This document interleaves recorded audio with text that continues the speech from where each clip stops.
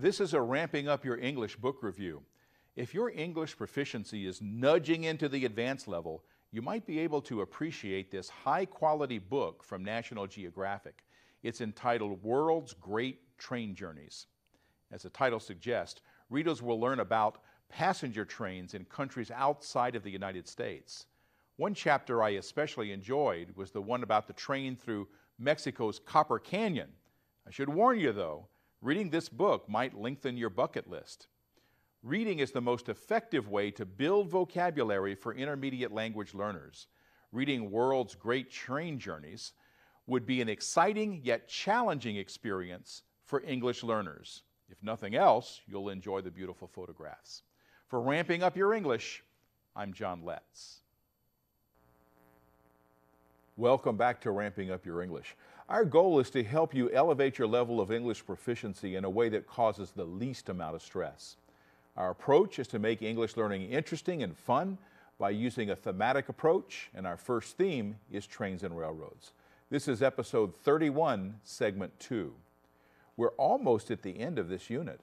In earlier episodes, I had viewers do an informal self assessment of their English comprehension skills and today, we do it again. Now, if you've been with me since the beginning of this unit, you've used a notebook in which to do our language activities. And those are as posted on our website, letzcreate.org. You've also recorded some self assessments in the notebook, and it's time to open it to a new page for today's assignment. Now, the way this works is to watch a video clip and estimate the percent of the clip you understand. It's that simple.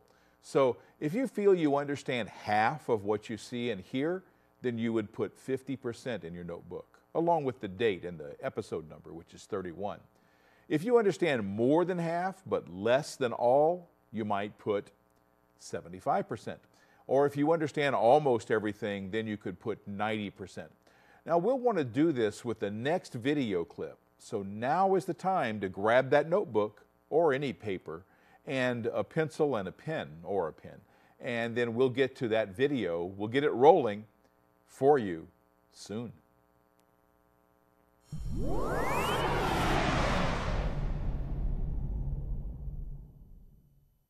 This is a Ramping Up Your English book review.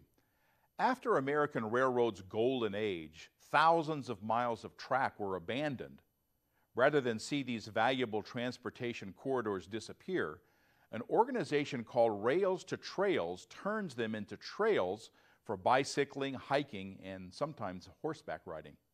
Members get to see good work that's being done by enjoying the organization's magazine. Each issue features rail trails throughout the country, as well as maps that can help them enjoy them. There are always interesting features like this one on railroad trestles.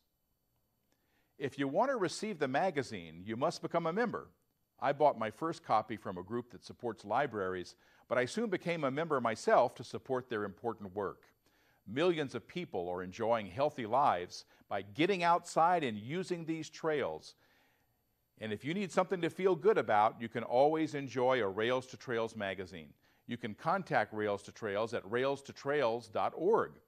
You may never get to drive a train, but you can enjoy hiking and biking where the trains used to pass.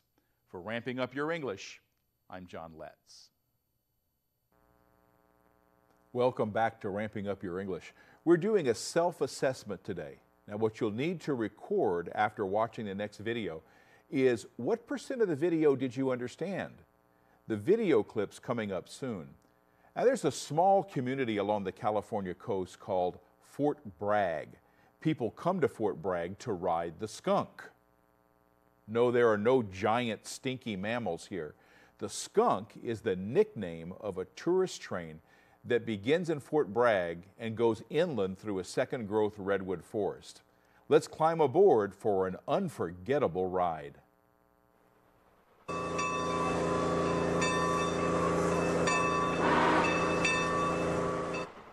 The California Western Railroad was probably not overjoyed when people started calling its train the skunk.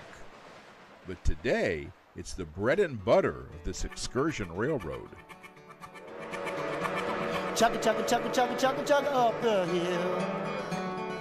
Puffing and a chugging, you know that engine will reach the summit and go down. Located in Fort Bragg, California, this powerful steam locomotive pulls passengers into the past. Look at the engine, that's old 45.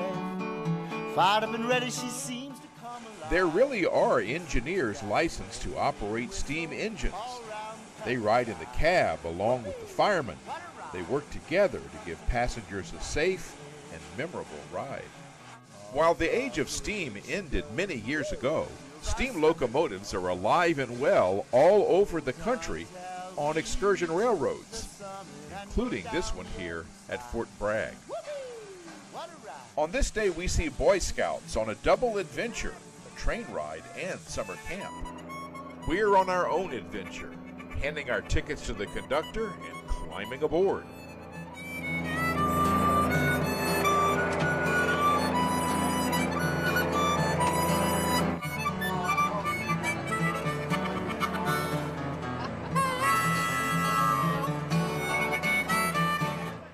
Trackside, we see a water tower, an essential element to steam locomotives. can't see beyond our train shed, but there used to be a big lumber mill out there, the Union Lumber Company.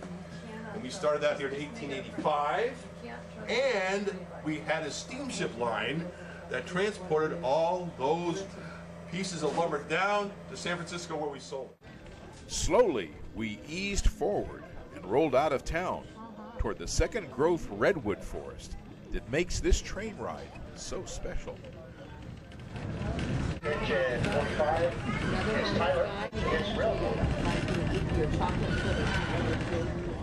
The large windows provided a great view from the coach, but I was soon in the open car, right out there with the fresh air and the trees.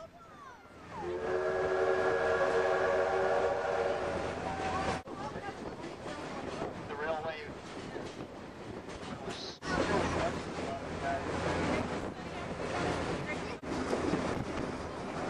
and as we go over the bridge, obviously in both directions, 90 miles an hour up on the top of the bridges. So we're going 30 miles an hour in town. But this area right here, the winds are estimated to be two. Right window, you can see tall redwood stump. It was this redwood forest that gave the railroad its birth. Born to haul logs to build San Francisco back in the 1800s, the trees are growing back, making this train ride a visit to the redwood forest.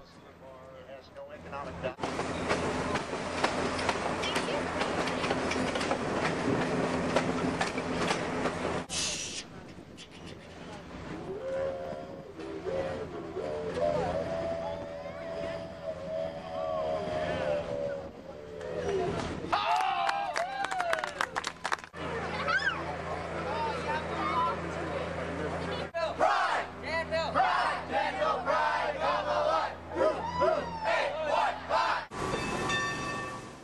During lunch, we could see how a steam locomotive works. The cam is moved by the steam powered piston attached to the wheels to make them turn. We took on more water before the crew prepared to take us back to Fort Bragg. Passengers nodded off in the coach while people like me returned to the open car.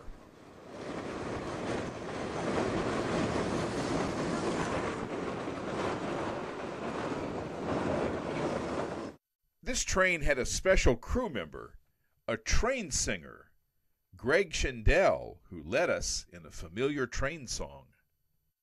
I've been working on the railroad one song long. Oh, yes. I've been working on the railroad all the live long day. My father in law kept the camera rolling as we return to Fort Bragg. spot here. Okay, we're about ready to get off, so I will talk. Oh, here's an, an old train that they're remodeling. This car we were passing would carry future passengers on this great redwood forest ride. We'd keep the memories of a day well spent.